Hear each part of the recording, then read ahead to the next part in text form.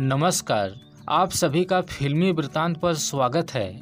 बॉलीवुड के महान अभिनेता दिलीप कुमार एक से बढ़कर एक शानदार फ़िल्मों में अपने अभिनय का जलवा बिखेरा है, जिनको देखकर लोग रोमांचित हो उठते हैं। लेकिन दिलीप साहब की कुछ ऐसी भी फ़िल्में थीं, जिनके निर्माण की शुरुआत हुई और निर्माण भी हुआ, लेकिन रिलीज़ नहीं हो सकी थी।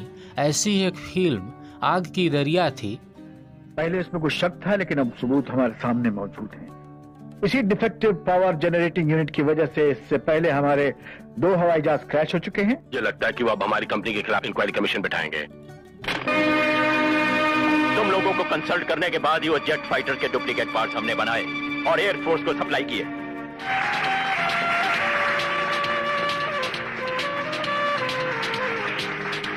आज हम इस वीडियो में दिलीप साहब के इस अनरिलीज फ़िल्म के बारे में पूरी जानकारी देंगे और इसका दुर्लभ दृश्य भी दिखाएँगे। तो आप लोगों से हाथ जोड़कर निवेदन है कि कृपया वीडियो को लाइक और शेयर करें और चैनल को सब्सक्राइब करके बेल आइकन अवश्य दबा दें और इस वीडियो के अंत तक बने रहें। आग का दरिया फ़िल्म का निर्माण साल उन्नीस सौ चौरासी में शुरू हुआ था और यह फ़िल्म साल 1990 में बनकर पूरी हुई थी, लेकिन यह फ़िल्म पर्दे पर नहीं आ सकी थी। इस फ़िल्म में दिलीप कुमार और रेखा मुख्य भूमिकाओं में थे। इसके अलावा अमृता सिंह, अवतार गिल, राजीव कपूर और पद्मिनी कोल्हापुरे इत्यादि ने भी अपने अभिनय का जलवा बिखेरा था। इस फ़िल्म को निर्देशित किया था। एस वी राजेंद्र बाबू ने प्रोड्यूस किया था आर वेंकट रमन और इस फ़िल्म का निर्माण प्रेमालय प्रोडक्शन के बैनर तले हुआ था। इस फ़िल्म में संगीत दिया था लक्ष्मीकांत प्यारेलाल ने और आग की दरिया फ़िल्म की कहानी, पटकथा, संवाद और गीत राजेंद्र कृष्ण के द्वारा लिखे गए थे। साल उन्नीस सौ चौरासी में राजकुमार और हेमा मालिनी के साथ सरारा फ़िल्म को पूरा करने के बाद निर्देशक राजेंद्र सिंह बाबू ने बड़ी फ़िल्म आग की दरिया का निर्माण शुरू किया था। जिसमें दिलीप कुमार और रेखा जैसे बड़े और प्रमुख सितारों के साथ शुरू करने के लिए फ़िल्म के निर्माता, निर्देशक और राजेंद्र कृष्ण और यहाँ तक कि फ़िल्म से जुड़ा हर कोई बहुत ही उत्साहित थे। उस समय निर्देशक ने कहा था कि यह फ़िल्म एक साल में तैयार हो जाएगी, लेकिन फ़िल्म के निर्माण में अचानक देरी होने लगी। इसी बीच फ़िल्म के लेखक राजेंद्र कृष्ण की मृत्यु हो गई थी, जिसके उपरांत निर्माता और फाइनेंसर के लिए समस्याएँ उत्पन्न होने लगी थीं। हालाँकि साल 1990 में दिलीप कुमार साहब ने कोर्ट रूम के दृश्यों की शूटिंग की और फिर घोषणा किया कि फ़िल्म पूरी बनकर तैयार हो गई है और एक विज्ञापन भी जारी किया गया, जिसके प्रस्तुतकर्ता दिलीप कुमार थे, लेकिन दुर्भाग्य से रिलीज़ नहीं हो सकी थी। उस वक्त दिलीप कुमार साहब ने एक इंटरव्यू में फ़िल्म के रिलीज़ में क्यों देरी हो रही है, उसका कारण बताया था। उन्होंने कहा था कि कुछ लीगल फाइनेंशियल प्रॉब्लम है, इसलिए फ़िल्म के रिलीज़ में देरी हो रही है और फाइनेंशियल प्रॉब्लम अभी भी बरकरार है। इस फ़िल्म में बहुत से लीगल, फाइनेंशियल और लीगल प्रॉब्लम्स थे। न सिर्फ़ प्रोड्यूसर्स को थे बट प्रोड्यूसर के फाइनेंसियर्स को भी थे।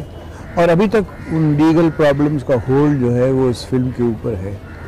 आग के दरिया के निर्देशक राजेंद्र सिंह बाबू ने भी एक इंटरव्यू में बताया था कि फ़िल्म को वित्तीय विवाद के कारण शुरू में रिलीज़ नहीं किया जा सका, और बीच के वर्षों में फ़िल्म का मूल प्रिंट बुरी तरह से क्षतिग्रस्त हो गया था, लेकिन साल 2014 के आसपास राजेंद्र सिंह बाबू को सिंगापुर में एक वितरक के पास फ़िल्म का मूल प्रिंट मिला था, जिसके बाद साल 2014 में फ़िल्म को रिलीज़ करने की घोषणा की गई थी। हालाँकि बाद में शायद फ़िल्म फिर से रिलीज़ नहीं हो सकी थी। हालाँकि फ़िल्म के गीतों का ऑडियो कैसेट साल उन्नीस सौ पंचानवे में रिलीज़ किया गया था।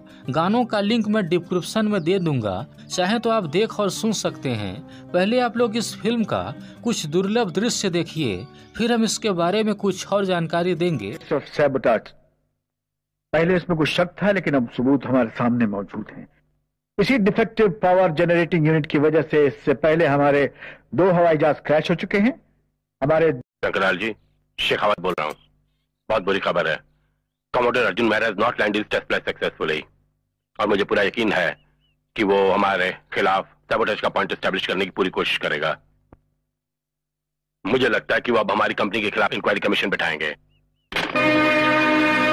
तुम लोगों को कंसल्ट करने के बाद ही वो जेट फाइटर के डुप्लीकेट पार्ट्स हमने बनाए। और एयरफोर्स को सप्लाई किए। तुम लोगों ने कहा था कि वो पार्ट्स बिल्कुल सेफ़ हैं। कोई हादसा नहीं होगा।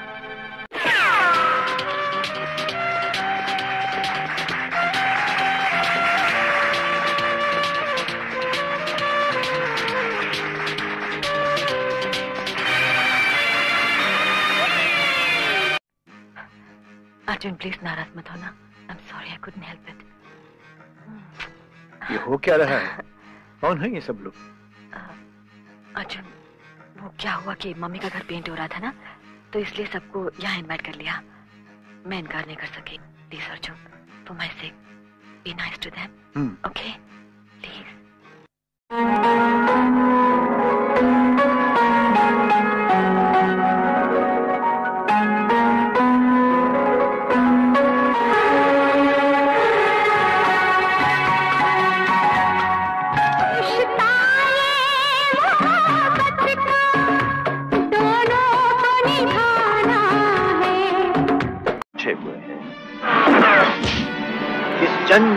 प्रधान आगे की दरिया फ़िल्म की कहानी, पटकथा, संवाद और गीत राजेंद्र कृष्ण के द्वारा लिखे गए थे और यही उनकी आखिरी फ़िल्म थी, क्योंकि साल उन्नीस सौ सतासी में उनकी मृत्यु हो गई थी। इसके अलावा दिलीप कुमार की एक और फ़िल्म, धर्माधिकारी के लिए भी राजेंद्र कृष्ण ने संवाद लिखे थे।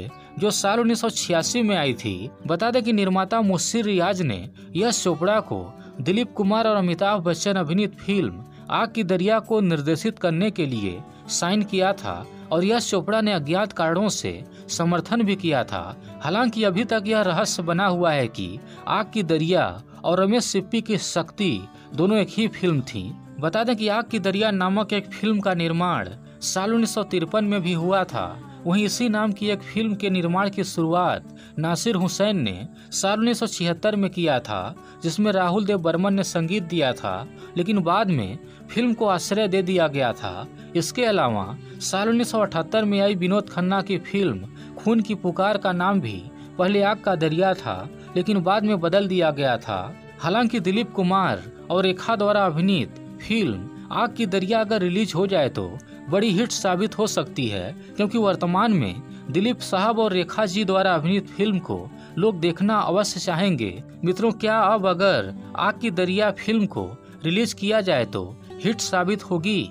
कमेंट सेक्शन में ज़रूर बताएँ। अगर हमारी मेहनत पसंद आई हो तो कृपया वीडियो को लाइक और शेयर करें और चैनल को सब्सक्राइब करना बिल्कुल ना भूलें। जय हिंद, धन्यवाद।